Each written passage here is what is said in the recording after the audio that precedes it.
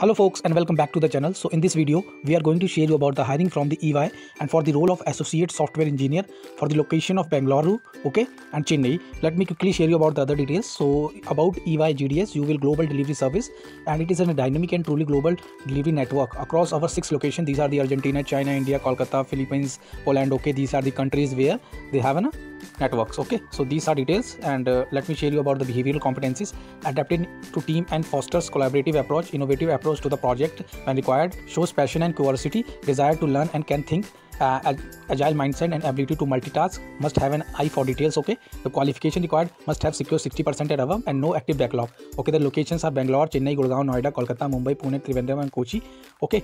So these are the details and you have to click on the apply okay? After click on apply you will get redirected to this page and you have to log in here okay? Your name your last name your mail id your password your confirm password and then you have to log in and okay after that you will fill that ey for the role of associate software engineer okay? So this is all for today's video and uh, this link is in description. Please go there and apply for the drive. Thank you friends. Have a nice day. Take care